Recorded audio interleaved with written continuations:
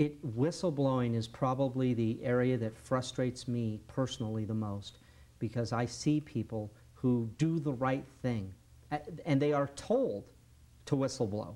I mean, the state of Nevada has a program that Sure. advertises if you see something going on, call this hotline, call this number. And almost every single time that I've experienced where people come to me, when they do the right thing, they get trashed, they get retaliated against, they get called a troublemaker, they have the problems. The problem they identified doesn't get fixed. That they become the issue rather than the problem they identified. It is the most upside down situation that I think currently exists for employees.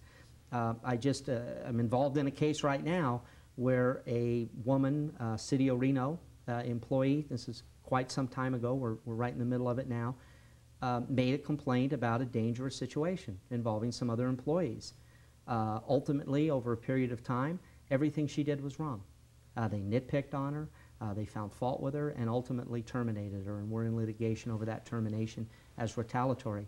Her superior, when she reported the safety issue, his reaction was, somebody reported something on my crew, I'll get that person.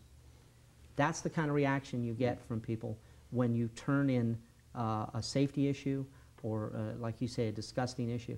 It's got to change uh, because if we don't change it, people aren't going to report those issues and there's going to be lives uh, injured, injuries, uh, and there's going to be corruption in the system that doesn't get fixed.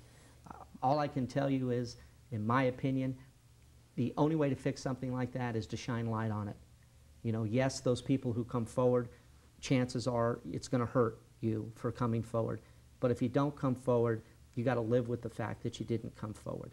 And in the job I do, when it comes to this, a lot of times it's a very difficult job. A lot of times you don't win, but you have to fight the fight anyway, because if you don't fight the fight, you're a loser.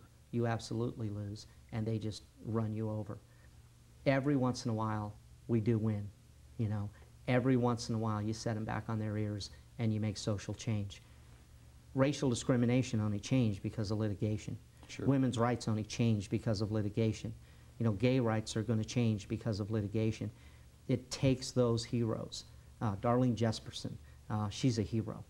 Uh, it takes those people to step forward. It's not easy. Uh, when people come into my office, I explain to them, this is not going to be fun. It is not going to be easy. And some people walk away and say, I don't have what it takes to fight that fight, and I respect that.